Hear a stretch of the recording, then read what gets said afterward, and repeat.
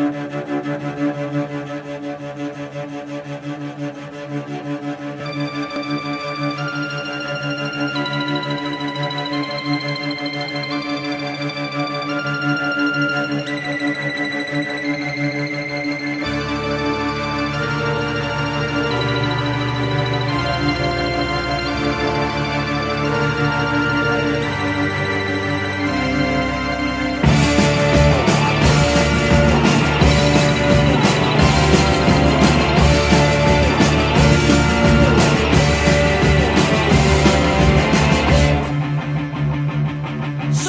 think you'll take another piece of me to satisfy your intellectual needs.